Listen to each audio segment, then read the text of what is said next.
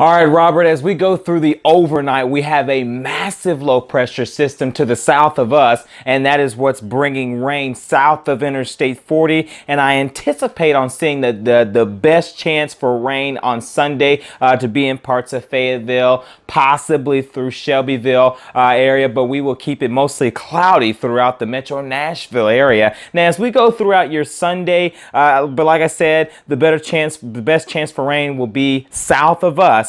Uh, now for tonight, we'll, we will be right at 40 degrees. Some showers uh, again south of Interstate 40. Now tomorrow for your Sunday, the Titans taking on the Saints right here at the Nissan Stadium at noon kickoff. We're looking at mostly cloudy skies. We're going to keep it mainly dry out there. We will see temps staying in the 50s for a few more days and then 60s make a return on Christmas Day.